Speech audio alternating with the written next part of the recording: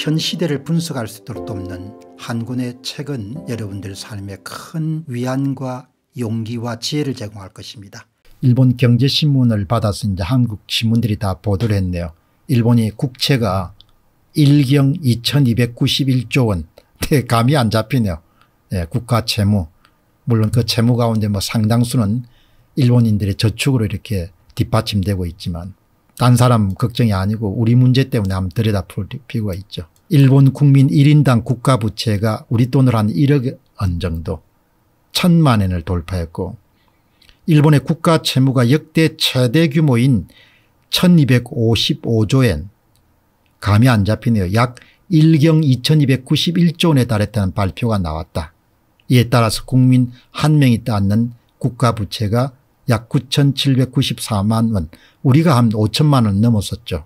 한때 세계 최고의 부자 나라 일본이 점차 빚쟁이로 전락하고 있다는 것이다. 이런 내용을 이제 보도를 했네요. 일본은 2003년만 하더라도 국가부채가 한 550만 원, 약 5,386만 원 정도에 거쳤는데 20년 만에 두 배 수준으로 부채 부담이 커졌다.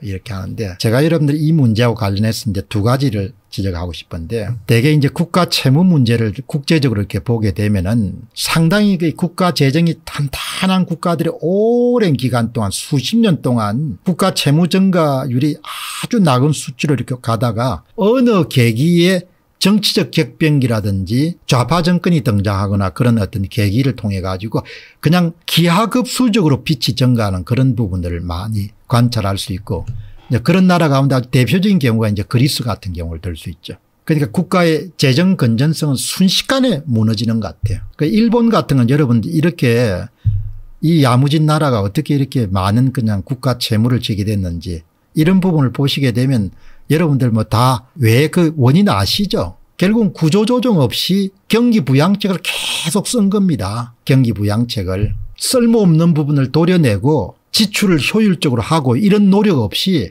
그냥 계속 돈을 풀어가지고 나라 경제를 살리겠다고 그렇게 매달리다가 10년 20년 30년째 지금 오는 거죠. 얼마 전에 이제 돌아가신 그 아베란 아베 수상도 최장기 집권한 수상이지 않습니까? 아베 수상이 들어왔으면 뭡니까? 양적 완화 돈을 풀어가 이런 경기를 살리겠다는 것은 아베노믹성을 포장을 해가지고 아베가 이런 나라를 살린다고 막 박수를 쳤지 않습니까? 아니 돈을 뿌려가지고 나라 경제를 살릴 수 있으면 세상에 뭐 경제 위기가 어디 있겠습니까? 못 사는 나라가 어디 있겠습니까? 돈 찍어가지고 막 뿌리면 되는데. 아 그런데 사람들이 또 그걸 박수치고 뭡니까? 언론도 박수치고. 정말 대단한 거죠. 자 일본이 이렇게 어려워진 데는 마지막 일기는 아베 수상이 그냥 때린 것 같습니다. 뭐 기본적으로 악의는 아니겠죠. 그러나 선의로 포장된 엄청나게 나쁜 일들이 세상에 많지 않습니까 정치인 가운데 나라를 망치기 위해서 이 정책을 쓴다고 하는 사람이 없지 않습니까 나라를 살리기 위해서 이 정책을 쓰는데 그 정책이 반시장적이고 반합리적이고 반과학적이면 나라를 망가뜨리는 거죠.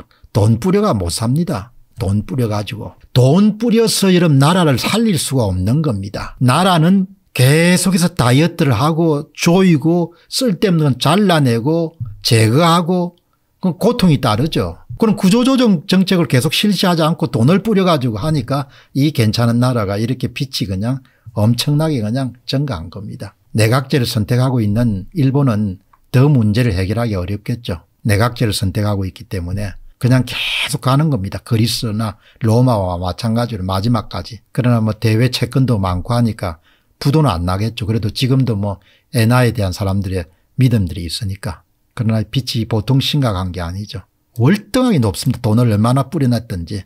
이게 GDP 대비 이런 국가 채무가 256% 세계 최정상입니다. 압도적인 우위를 차지하지 않습니까 어마어마하죠. 우리도 이런 보시기 바랍니다. 급속하게 증가하고 있지 않습니까 보시면 다 이 뭡니까 40%를 우리 사회가 거의 마지노선 정도로 받아들였는데 그거를 뭡니까 다른 나라도 더 쓸 수 있으니까 우리 도 써야 된다. 문정권에서 그걸 이제 무너뜨린 거죠. 무너뜨리고 나면 그다음 천정부지로 올라가는 겁니다. 이제 그 이제 아마 앞으로 한국은 거듭 말씀드리지만 포퓰리즘 곱하기 선거 문제 이 두 가지가 나라를 상당히 제가 볼 때는 어렵게 할 것으로 봅니다. 이미 한국은 여러분 2011년도에 오세훈 시장의 무상급식 서울시 여러분들 투표 그때 이미 시작이 된 거죠. 그때 이제 포퓰리즘 열차에 탄 겁니다. 근데 이제 포퓰리즘 탄다는데 2017년부터는 그냥 선거 문제까지 전혀 그동안 우리가 한 번도 생각했던 선거까지 무너지게 된 겁니다. 2017년 여러분들 대통령 선거, 2018년 지방선거, 2020년 총선, 2021년 서울시장 보궐선거, 2020년 3구 대선 지방선거. 예? 나중에 또 부도가 나가지고 얼마나 비참해지겠습니까? 상상이 안 됩니다. 빚진 죄인이란 이야기가 있지 않습니까? 빚진 죄인. 대한민국의 썸썸이를 다이어트하고 뭡니까? 어려움을 맞지 않기 위해서 지출 구조조정 같은 걸 잘 할 수 있겠습니까? 나는 어렵다고 봅니다. 한국 사람들 마지막까지 가야 됩니다. 마지막까지. 서울대 환경대학원에서 전상인 교수가 참 좋은 글을 올렸네요. 대한민국 국회 당신들의 천국이다. 자기들이 법을 만드니까 밑에 보좌진은 왜 그렇게 많이 들고 있어야 되는 건지 국회보다 두 배 규모를 또 세종시에 만들 모양입니다. 우리나라 국회의원의 특정과 특権은 적폐 중에 적폐다. 모두가 뭐죠? 나라 예산에 빨대를 뽑고 그냥 먹어 치우는 겁니다. 나중에 막 갈 때까지 먹겠죠. 치즈가 없어질 때까지. 의원들의 국민소득 대비 연봉은 선진국보다 월등히 높고 의원실 하나를 운영하기 위해서 연간 7억 5천만 원 이상의 혈세가 들어간다. 나라가 이렇게 운영이 되는 겁니다. 결국은 부채 때문에 폭발할 겁니다. 이게. 원화 가치도 폭락을 하고 세상에 건너뛰는 법이 없거든요. 그리고 못 줄입니다. 나라가. 노인들은 계속 늘어나죠. 표는 어디 하겠죠. 그리고 다 자기 뭡니까 밥그릇은 한치도 뭡니까 양보를 안 하겠다고 하죠. 그러니 뭐 어떻게 하겠습니까. 그냥 다 그냥 지나가는 대통령은 마지막에 도달할 때까지 뭡니까 폼만 잡다가 다 사라지는 겁니다. 일본이라는 나라를 보면서 우리가 돈 써다가는 일본은 그래도 여러분들 자국 국민들이 저축이 좀 많으니까 여기는 뭐 아무것도 없는 나라가 뭡니까? 이렇게 써졌기니 큰 의원실이나 여러 명의 이런 보좌진이 다 비용이지 않습니까? 여기 보시게 되면 은 우리나라 국회의사당 대회의실의 1인당 면적은 3.16제곱미터로 0.94제곱미터에 불과한 프랑스 국회의사당의 3배가 넘는다. 이게 다 비용이잖아요. 선진국의 경우에는 대개 국회의원들이 다닥다닥 붙어 앉아서 회의에 집중할 수밖에 없는 구조다 이에 비해 우리나라 국회의원들은 넓고 푹신한 소파식 회전 의자에 앉아 잡담도 즐기고 수면도 취하고 밑에 목욕탕도 있으니 목욕탕도 가고 휴대폰도 수시로 만지작거린다. 누구나 뒤에서 쳐다보는 느낌을 갖도록 설계 된 서구 의사당과 우리나라는 일방 방정성의 존재하기 그러니까 조선조하고 크게 달라진 거 없는 겁니다. 예. 관존민비 사상은 여전히 우리 사회에 기술직을 천대하고 문과를 우대하는 예, 공무원 사회도 뭐 기술직이 계속 천대를 받지 않습니까? 그동안 잘 먹고 잘 살았죠. 뭐. 결국은 터집니다. 난 터지지 않을 수 없다고 보죠. 터지게 되면 맨 마지막에 자기 봉급을 줄이겠죠. 뭐. 여기 보시게 되면은 싫든 좋든 몇 년 뒤 세종시 영기면에 의사당이 하나 들었었는데 넓이는 63만 평방미터로 여의도 국회의 두 배 정도다. 이 돈을 생산적인 용도로 쓰면 얼마나 많은 일자리를 만들겠습니까? 여러분 가면은 국회의원이 오고 가는 문이 있고 일반인이 오고 가는 문이 있지 않습니까 나는 굉장히 의심스러웠어요. 왜 저게 국회의원이 오고 가는 문이 있어야 되지?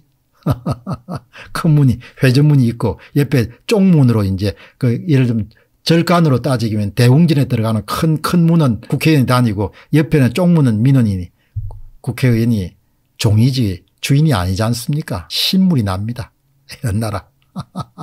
결국은 제가 한국인을 보면서 느끼는 거는 그런 거죠. 어쩌면 사람이 당하지 않고 좀 배워서 미리미리 준비를 못하냐. 꼭 당해야 되냐. 당해가지고 울고불고 여러분들 그렇게 콧물 여러분들 눈물 흘리면서 그때서 정신을 차리냐. 그런 생각을 자주 하게 되죠. 그런데 그 DNA가 하나도 바뀌지 않아요. 모두가 앞으로 보시기 바랍니다. 윤석열 대통령이 무슨 일을 하겠습니까 앞으로. 그냥 폼 잡다가 잘하면 5년 마칠 거고 잘 못하면 또 그 사이에 무슨 병고도 생길 수 있겠죠. 가는 길이 뻔히 보이지 않습니까 대한민국은 포퓰리즘과 선거 문제 이 두 가지 문제를 통제하거나 관리할 수 있는 그런 리더십의 확보와 국민들의 그런 협조가 없으면 은 그러면 결국은 파국을 맞을 겁니다. 이렇게 지금 상황이 돼가는 거. 그래도 선거 정도만 지킬 수 있으면 그래도 조금 더 나을 건데 그게 쉽지가 않은 지금 상황으로 흘러가는 거죠.